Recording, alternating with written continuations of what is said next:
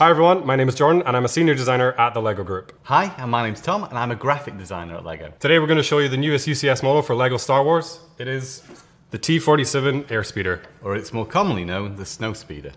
This model was a lot of fun to work on. It's one of my personal favorite vehicles in the Star Wars universe.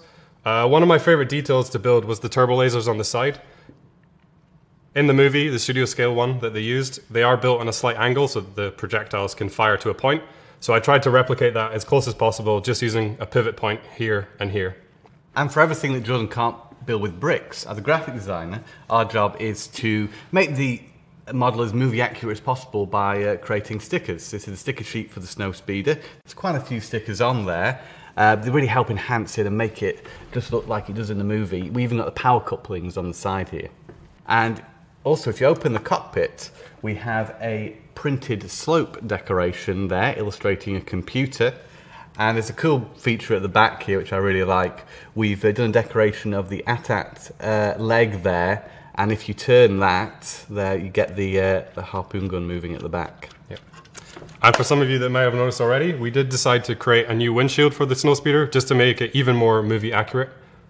Yeah, and we tied that together with some stickers here to create the overall shape. There, there's a couple of functions on the back. We have the rear air brakes that you can move up and down just manually.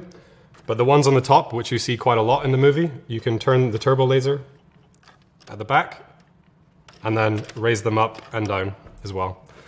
And if you raise the stand up, Yeah, you can see the uh, sticker here we have at the bottom. As with all uh, UCS sets, uh, we have a sticker detailing all the technical aspects of the vehicle. You also can see we've got two exclusive minifigures here. Uh, to make them exclusive, we added arm printing to the side, so it's not just the same as a regular uh, Rebel Pilot torso. And you can also see we did uh, two unique uh, helmet prints there. You may be able to guess from that which characters these represent.